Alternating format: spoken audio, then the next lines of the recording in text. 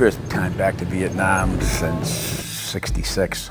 They arrived in this faraway land more than 50 years ago. I wasn't sure if I really wanted to, to come back. I've lived with these ghosts for 54 years. Changes you forever. Brave young men. They were trying to kill us. They were trying to kill me. Fighting for love of country and each other. That's why it hurts so bad. Gerald B. Evans, Junction City, Kansas. That's why it hurts when you lose people that you trained with, that you grew up with in the Army. Matthews Shelton, Cincinnati, Ohio. And, and, and they're taken away from you in, in, in a horrific, horrific way. William A. Farrell, Stanton, Tennessee. Suckered A out. violent firefight in this remote valley. The most memorable thing was simply being shot at. Ambushed. They watched more than 200 friends die. My first thing I did was feel my chest and see if I had a, my heart was pumping, and I was all right, and I could breathe, so I knew I wasn't dead. Haunting memories, unfaded for half a century. We four survivors of the Ia Drang Valley are here today in this country of Vietnam to say goodbye to those who fell and honor their memories. They left Vietnam, I've never talked to anybody like this before. but it never left them. There are nightmares, more than one. Now, for the first time, these U.S. veterans make their emotional return. all these years of, of denial and, and all of a sudden you know there's no escape Changed men i'm looking for closure in a changed country. 50 years ago, there was a Vietnam that, uh, that we knew then. You're coming back now, I see the changes and the difference in the people. It's good to come back. Their story inspired a best selling book and a Hollywood movie. Because all of us wonder why we're still alive. And their bravery inspires to this day. We as Americans had something in us that allowed us to prevail.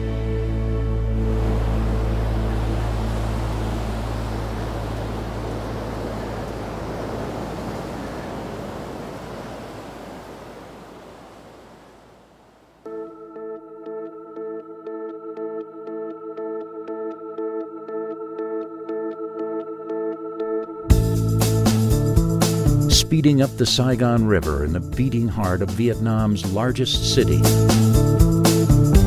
This is the last place these men expected to find themselves more than five decades after their first visit here. Today, it's, it's a whole different place, different people. i went here on r&r and so i'm kind of looking for familiar sights First time back since 1966. The Vietnam of today lined with skyscrapers, filled with scooters, booming with young people. 70% of this country's population wasn't even alive yet when the war was being waged. I would think that the young people today uh, don't really comprehend what happened in, in the Vietnam conflict. Uh, and, and I don't know that they're terribly interested, and that's okay. That's okay. The more we, the more we can forget war as people, then the better off we'll be as a world. Now I'm gonna crawl through the other side. Today, tourist attractions are some of the only reminders of war. now. I just gotta figure out how to. Be careful, Places where you can squeeze into tunnels used by the Viet Cong during the Tet Offensive. How was that? That was freaky. What you had? What you had?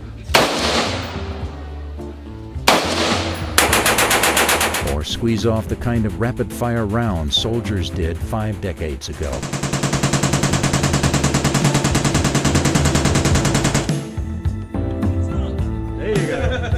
And there are museums where the spoils of a devastating war are all on full display. I can't tell you how many runs, but that's the airplane right there. But for these men, the war that, to many, seems so distant in both time and geography has never seemed quite this close.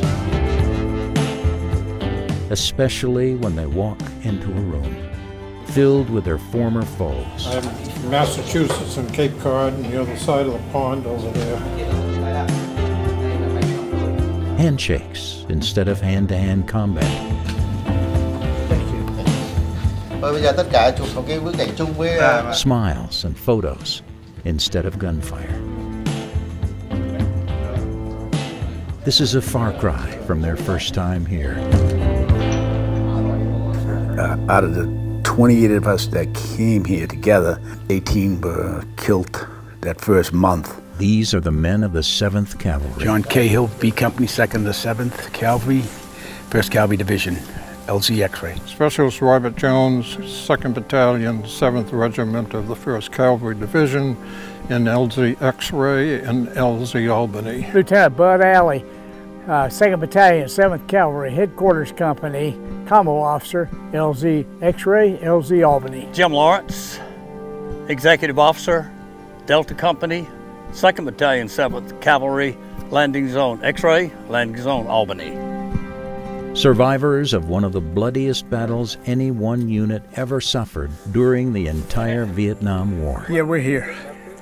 At this point, uh, we're here. They've been brought back to the very spot where their friends and fellow soldiers fell. A lot of curiosity, a lot of, uh, you know, seeing if I could locate the position I was in. The remote Ia Drang Valley in Vietnam's Central Highlands, site of the devastating Battle of Ia Drang. And you're not even worried about getting shot at right now. The Battle of the Ia Drang Valley consisted of two locations, uh, landing zone X-ray. 2nd Battalion, 7th Cav went in and replaced the 1st of the 7th on X-ray.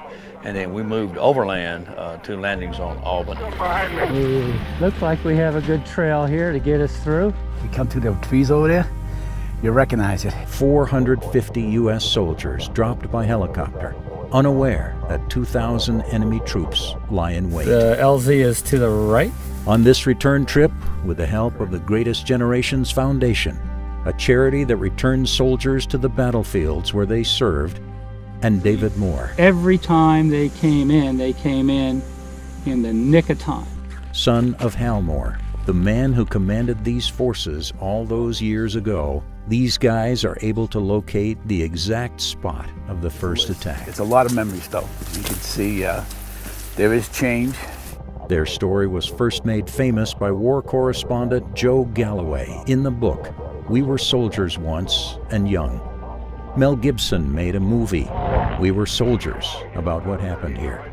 But even Hollywood couldn't capture the scale of the carnage. Throughout the night, uh, there was firefights, uh, there was yelling, there was screaming, somebody was being killed. It was the first major battle between U.S. and North Vietnamese forces, and the next day it got even worse. We walked uh, into an ambush. We allowed uh, the North Vietnamese, who just happened to be uh, camped on the banks of the Ia Drang River, to deploy in front of us and down our right flank.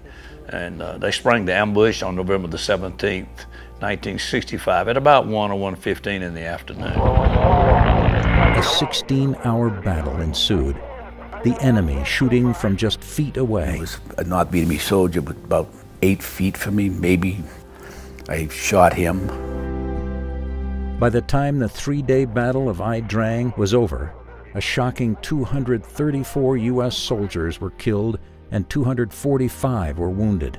Still, the U.S. was able to claim victory by killing or wounding a staggering 1,200 North Vietnamese soldiers. In the battle itself, I know I shot and killed one man. He was charging me directly. If I didn't shoot him, uh, he was going to get me. And there's the tragedy of war. This was a man, probably had a father and a mother back in Hanoi. He may have had a wife. He may have had children.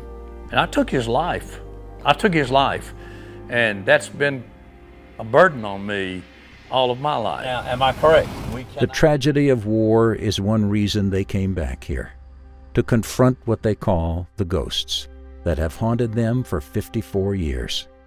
Bud Alley's ghost, Having Garrett Lee die in my arms, that's the face. That's the face I see every night when I go to sleep. He was a clerk. He had about 10 days left in the Army. Good, good guy, big guy. He was about six two, six three. I tried to pick him up, tried to carry him. He was hurting so bad and so covered in blood. It- he just screamed. And I tried to drag him. I said, Can you hold my shirt and let me straddle your body and try to drag you? And uh, he'd pass out. he'd go six inches and he'd pass out and screaming. And finally, it was just, he couldn't go anymore, I couldn't go anymore. I mean, I just was, that was it. Bud and the others have journeyed 8,000 miles and waited 54 years to prove they still remember. Can almost hear, hear them saying thank you. You haven't forgotten. You remember us? The unforgettable men. These are the names of the men of Alpha Company, second to the seventh. From an unforgettable battle. Hendry T. Luna, Fresno, California. Who died in this unforgettable place.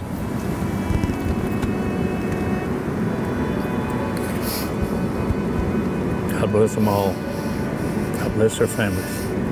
Never forget their names. Thanks, guys.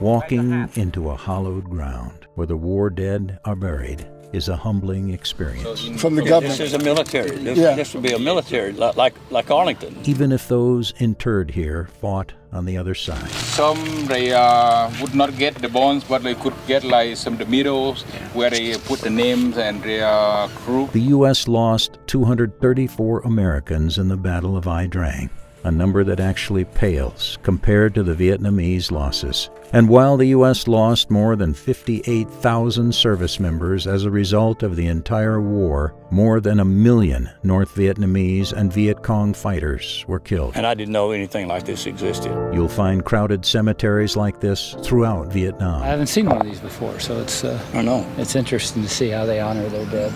I still can't interpret the. Can't either. And I don't know what that says. They said your country honors you. These cemeteries, a sobering reminder of the more than 3 million people, including civilians, who died during the war. It's nice to see them honor their, their dead and, and the sacrifice of, of their soldiers.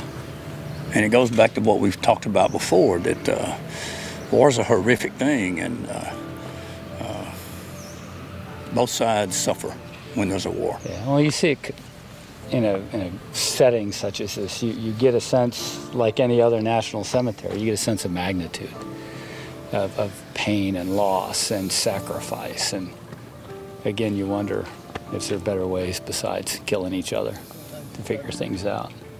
And if we'll ever figure that out, probably not. No.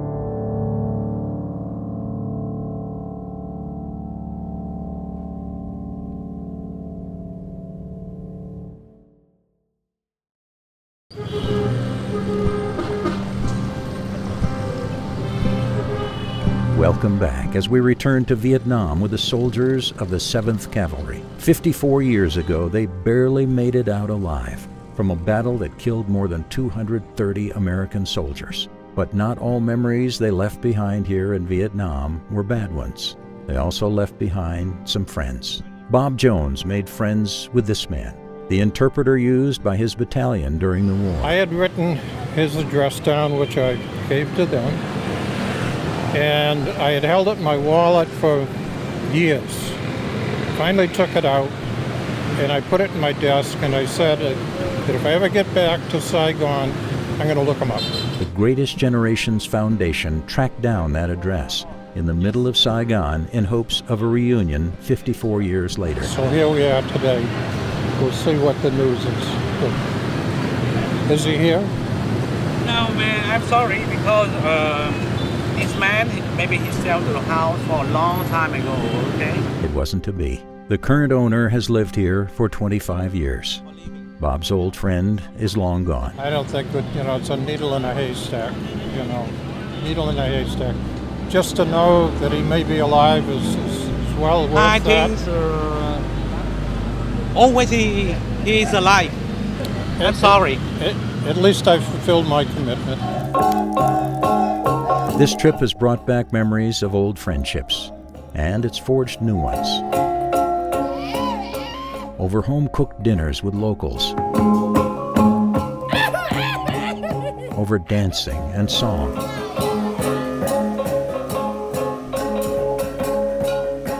Two different cultures, thrust together by war so many years ago,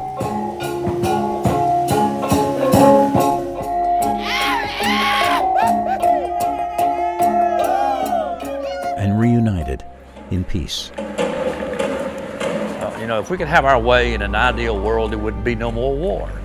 We came over this, this country to fight people we didn't know and had no reason to hate them. Maybe that's the message. that we can find peace in ways we don't understand.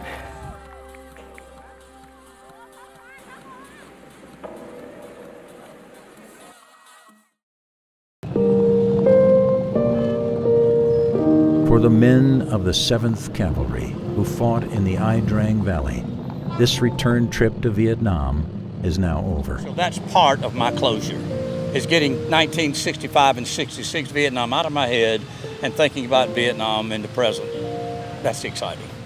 54 years later, this country has changed them once again. November 17, 1965. They gather one last time for an emotional dinner and some words from that book that made their story famous. Joe Galloway's We Were Soldiers Once and Young. The class of 1965 came out of the old America, a nation that disappeared forever in the smoke that billowed off the jungle battlegrounds where we fought and bled. The country that sent us off to war was not there to welcome us home. It no longer existed. We answered the call of one president who is now dead. We followed the orders of another who was hounded from office and haunted by the war he mismanaged so badly. Many of our countrymen came to hate the war we fought. Those who hated it the most, the professionally sensitive, were not, in the end, sensitive enough to differentiate between the war and the soldiers who had been ordered to fight it. They hated us as well. And we went to ground in the crossfire, as we had learned in the jungles.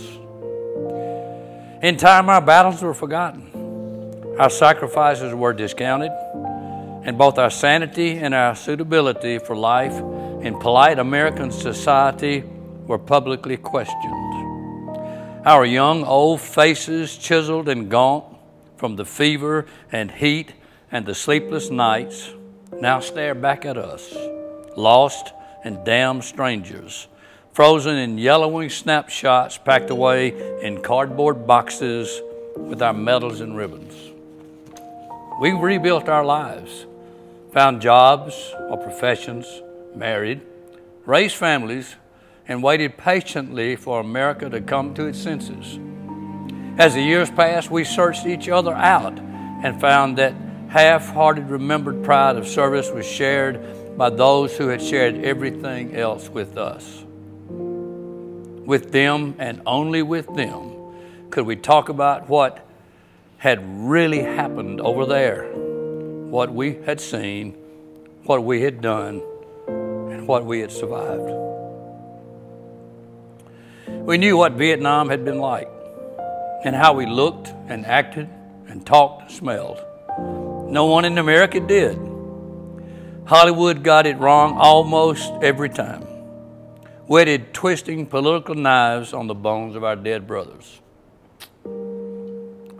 So, once, just this once, this is how it all began. What it was really like, what it meant to us, and what we meant to each other. It was no movie.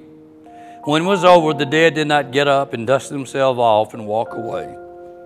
The wounded did not wash away the red and go on with life unhurt. Those who were miraculously unscratched were by no means untouched. Not one of us left Vietnam the same young man he was when he arrived. For we were soldiers once.